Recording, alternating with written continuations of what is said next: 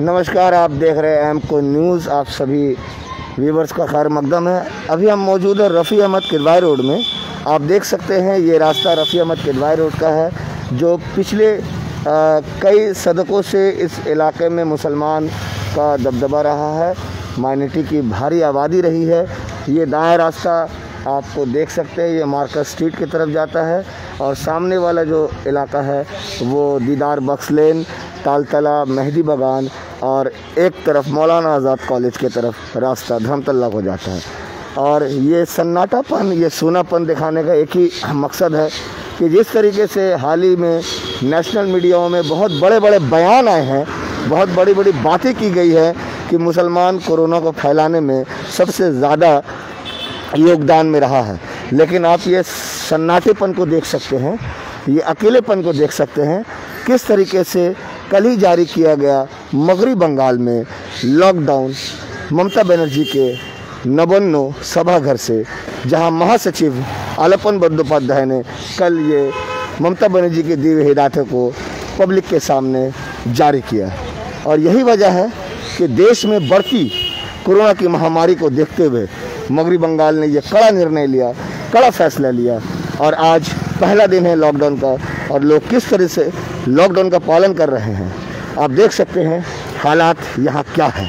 ये लाइव है और यहाँ लोग सड़कों पे नज़र नहीं आ रहे हैं। वही लोग नज़र आ रहे हैं जो इमरजेंसी की स्थिति पे हैं।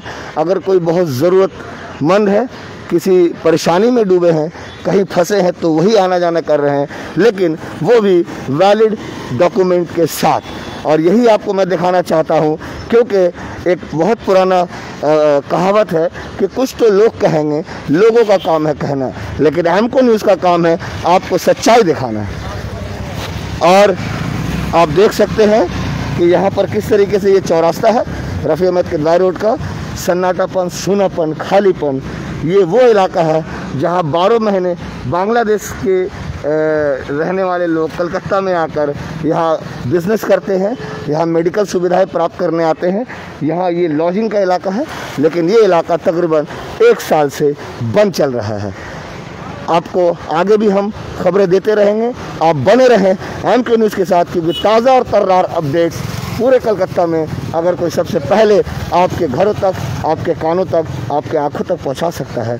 लेकिन इसके साथ साथ आप दूरियाँ बनाए रखें अपने घरों में भी रहें तो हाथ को धोते रहें, बच्चों को आप सुविधाएँ दें, बच्चों के साथ सख्ती ना करें, क्योंकि सख्ती करने से बच्चे घर से बाहर निकल सकते हैं। मोहब्बत का फिज़ा कायम रखें और बच्चों के साथ दोस्त वाला अंदाज़ बनाकर आप उसको समझाएँ कि बाहर ना जाएँ। बड़े बुज़ुर्गों का भी ख्याल रखें और भी ताज़ा तर्रार खबरों के लिए आप बने रहें। आमको न्यूज़ बहुत बहुत शुक्रिया।